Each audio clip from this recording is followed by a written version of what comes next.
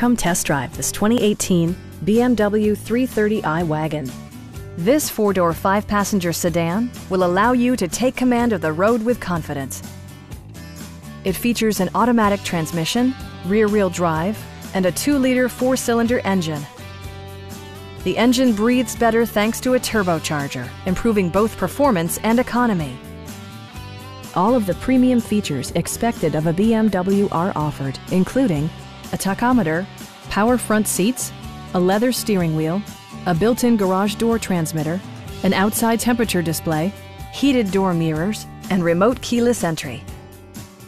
Everything is where it ought to be, from the dashboard controls to the door locks and window controls.